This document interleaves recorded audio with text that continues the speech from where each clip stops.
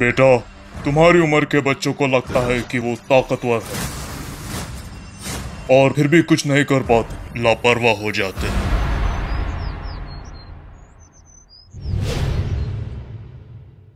तुमने सुना मुझे? जी सुना। क्या तुम नर्वस थे? थोड़ा सा।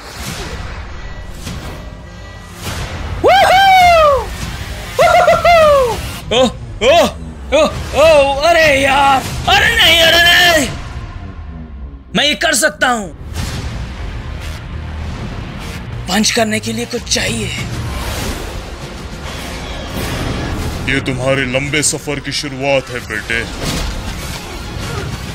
बात यह है, तुम अलग हो। तुम असल में हो।